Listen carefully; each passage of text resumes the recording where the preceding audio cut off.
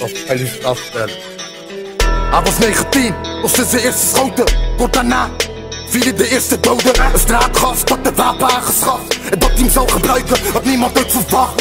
Zijn eerste schietpartij, landelijk nieuws kreeg respect van de strijders uit de motherfucking buurt. Verhalen gingen rond, kleine G heeft een korte lont. Maar een grote mond, een lopende tijd, bom. Begon met overvallen op een juwelier. Als hij zijn wapen trok, was hij net een ruw dier. Werd achtervolgd, een schot op de politiewagen. Waardoor die motherfuckers de achtervolging staakten. Vluchtten naar huis, om de motherfucking buitendelen Hij werd geplaatst. Op een lijst van de meest gezochte criminelen. Maar hij lokte ze uit, die blond met de blonde pruik. Zo de website en af en toe maakt hij zijn ronde thuis. Kort daarna werd hij gevraagd voor de huurmoord. Dat zijn verhalen die je in de buurt hoort. Hij is niet dood, maar hij vuurt door. De magazijn leeg, money is de mijnsteek, money.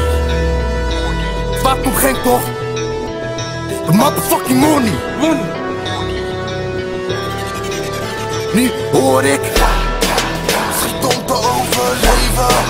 Schiet om te overleven. Schiet om te overleven. Nu moet ik rennen voor mijn leven. Nu moet ik rennen voor mijn leven. Nu moet ik rennen voor mijn leven. En als je mist, pak ik je morgen terug en laat je rennen voor je leven. Ik pak mijn AK-47 Ra! En laat je rennen voor je leven. En beter kom je mij niet tegen.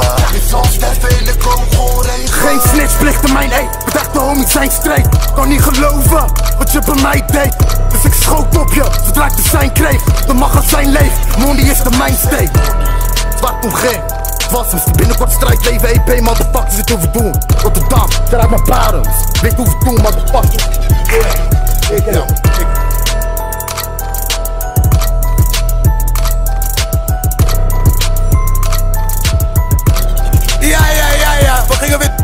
Maar ik heb trek gekregen. Dit was Moshep. Hé, hey, heb je telefoon bij je?